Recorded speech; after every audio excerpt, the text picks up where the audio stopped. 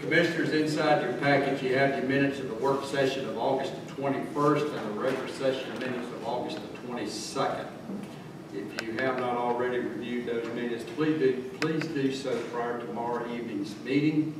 And then if there's any additions, deletions, or corrections that you know, please see Ms. Lovren so that those can be taken care of. Agenda item five.